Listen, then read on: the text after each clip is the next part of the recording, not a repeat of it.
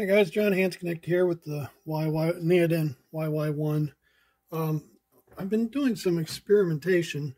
Uh, one thing that I don't like about the down-looking camera is the amount of reflection that you get off the four lights.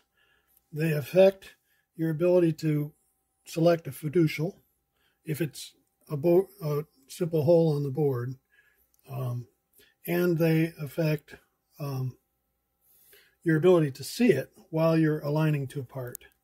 Um, here you can see, I'll give an example, moving over a part. And uh, the way it's illuminating and reflecting, it just sometimes makes it difficult to see the center. So I have a solution for this.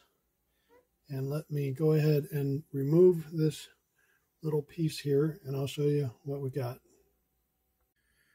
Okay, here I've powered down the uh, Neoden YY1 and uh, using the uh, cables simply unplug and they can only go back one way and two uh, screws are used to remove it from the unit. This is the uh, the filter set that I have. I went through about 20 different types of filter to end up with these. I'm looking for my tweezers. Can't find them. Anyway, there there is a uh, diffusion lens or a diffusion piece and a Fresnel lens, and that it's directionally sensitive, so it can only go on one way. And I've cut it so that there's a little tab off to the right on both of them. And so what we're going to end up with is a light going down, passing through the Fresnel, the uh, diffusion lens first, and then through the Fresnel and I can't do it while I'm holding my phone to film this. So here, I'll put it together real quick. Here it is mounted. Um, so you can see when, when it's uh, on the machine, that little tiny tab is to the right when looking down at it or looking at it. Um, and if you put it on backwards, you're not going to get the result that I get. So here I'll remount this to the machine and show you the results. Okay, I've turned it on. I've got it mounted. This is the part where you're going to notice that it's immediately better. I've gone to a blank area of my board that's just highly reflective. And um, before there used to be four distinct spots, um, lights that were bright, and now they're they're quite dim compared to how they were. Um, it doesn't show well on my video, so I'll take a couple still pictures. Okay, now we're ready to do some fiducializing and things like that. I want to uh, first go into the parameters page. This is where you would enter 2022. And the down looking camera threshold should not be default 50%.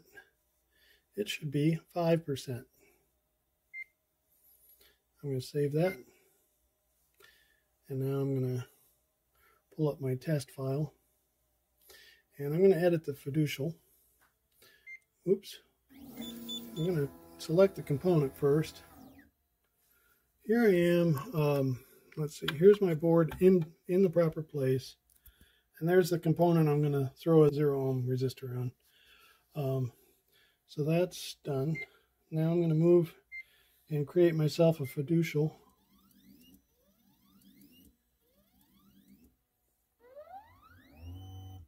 You can probably already tell in this video how how the, the LEDs are not reflecting off this board anymore. So let me center in this hole. And I'm going to say done. And it will say, yeah, it found the fiducial. It's showing it as a nice black circle there. And uh, I'm going to exit. I'm going to go ahead and mount my test file. And I'm going to run it. And let's see it find that. Yeah, it was so quick you might have missed it, but it found that fiducial.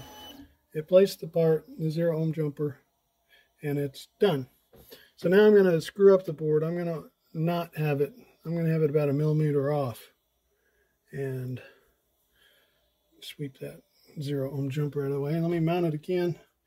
Well, it's already mounted. I'm going to run it again. Let's see if it finds the fiducial off center. Oh yeah, it had no problem. And it placed the part exactly where it needs to be. All right, now I'm going to offset the board a little bit in Y also. So it's offset in X and Y slightly.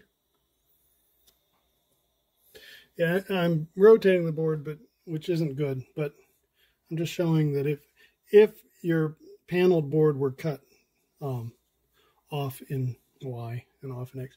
So let's run it. Let's see if it finds that fiducial. Oh, yeah. And you could see how far it was off, but it went ahead and found it and it placed the part. So this is a uh, definite solution, guys. And uh, I'm going to have these up on eBay. Uh, I get, I'm, I'm, I'm saying 15 bucks because I did a lot of work. I evaluated, I, I, had to laser cut these and tested a bunch of different uh, polarizers and type, different types of film. Anyway, it's a good solution. All right, bye.